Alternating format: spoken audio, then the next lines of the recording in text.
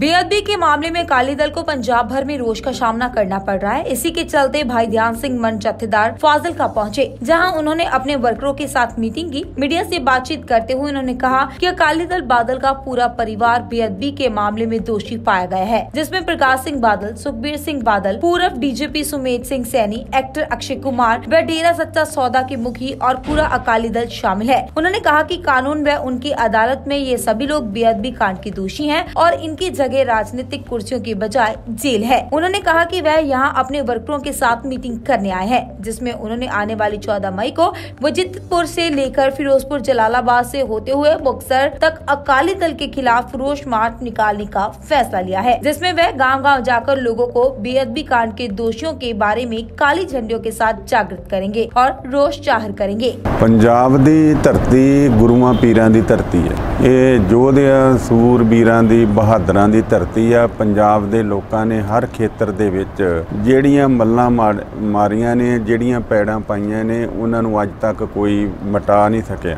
ਉਹ ਇੱਕ ਇਤਿਹਾਸ ਬਣ ਗਈਆਂ ਪਰ ਅੱਜ ਪੰਜਾਬ ਜਿਸ ਥਾਂ ਦੇ ਉੱਤੇ ਖੜਾ ਹੈ, ਉਹ ਥਾਂ ਜਾਂ ਉਹ ਸਮਾਂ ਐਸਾ ਖਤਰਨਾਕ ਹੈ ਕਿ ਆਉਣ ਵਾਲਾ ਜਿਹੜਾ ਭਵਿੱਖ ਆ, ਉਹ ਬਿਲਕੁਲ 100% ਖਤਰੇ ਵਿੱਚ ਪੈ ਗਿਆ।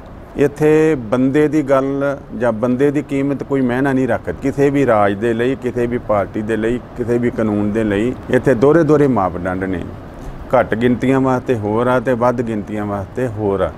ਸੋ ਇਸ ਪੰਜਾਬ ਦੀ ਧਰਤੀ ਦੇ ਉੱਤੇ ਸਾਡੇ ਜਿਹੜੇ ਧਾਰਮਿਕ ਗ੍ਰੰਥ ਨੇ, ਉਹ ਸੁਰੱਖਿਅਤ ਨਹੀਂ ਰਹੇ। ਗੁਰੂ ਗ੍ਰੰਥ ਸਾਹਿਬ ਦੀ ਬੇਅਦਬੀ ਹੋ ਗਈ, ਕੁਰਾਨ ਸ਼ਰੀਫ ਦੀ ਬੇਅਦਬੀ ਹੋ ਗਈ, ਦੂਸਰੇ ਧਰਮਾਂ ਦੀ ਬੇਅਦਬੀ ਹੋ ਗਈ। ਪਰ ਇਨਸਾਫ ਨਹੀਂ ਕਿਤੇ ਵੀ ਲੱਭਾ। ਇੱਥੇ ਸ਼ਰੇਆਮ ਗੋਲੀਆਂ ਚੱਲਦੀਆਂ, ਇੱਥੇ ਸ਼ਰੇਆਮ ਕਤਲ ਹੁੰਦੇ ਨੇ। ਫਾਜ਼ਿਲ ਕਾਜ਼ੀ ਰਣਜੀਤ ਸਿੰਘ ਦੀ ਰਿਪੋਰਟ।